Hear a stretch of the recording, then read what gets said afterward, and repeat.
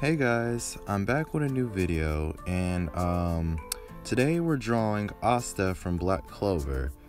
Now this is actually my first time ever drawing Asta, so I'm sorry if it doesn't really look that good or my drawing doesn't look the best or you know, I'm sorry if my drawing doesn't look exactly like the original art style of Black Clover because I mean, I've seen little tiny snippets here and there, but I've never actually watched the series or read the manga, so I don't really know anything about it, and I'm not really used to the art style itself, so yeah, I'm sorry about that, but um like I said in the previous video, I'm planning to drop three back-to-back -back videos, so hopefully this video is dropped on the day after I had dropped my uh, previous video of uh, drawing Killua.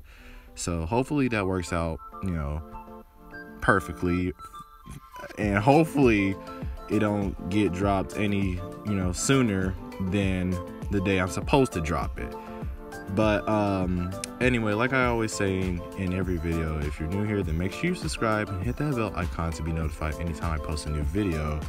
And also, um, you know, if you like the drawing, then let me know down in the comments. You know, tell me what you think.